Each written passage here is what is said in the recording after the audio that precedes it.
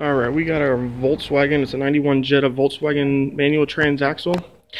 This one, it's kind of odd, but where we start is here in our casing, we have our input shaft coming in, which is actually this shaft right here. So the power will come in through the input shaft. Um, for first gear, power is going to come up right here to this first gear here, jump over to here. So this will be the first gear pair, um, and then it's going to go down to there's a gear down there over to our um, drive, pretty much our final drive, um, which will then transfer it out to the um, wheels. Um, moving up to second, this one actually, oddly enough, they put reverse right between first and second. So when power, when you go and shift into second, it's going to go up here to this gear pair. Power is going to come in, hit second, it'll get locked in by the synchro.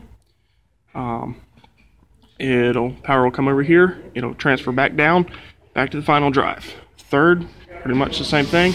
Power will come straight up over, the one above second, straight over, down, into our gear, straight over to our final drive, out to the CV axles.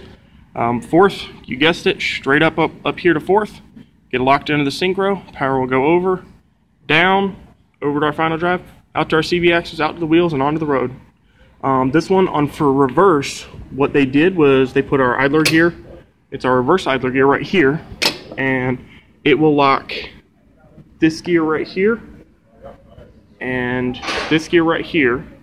It'll lock, this one will lock to this one and this one will lock to this one, but those two aren't touching. So it will pretty much be um, where this one is spinning, say counterclockwise, this one will go um, clockwise, and then this one will be going counterclockwise, which will actually making this go the opposite, which will be going clockwise.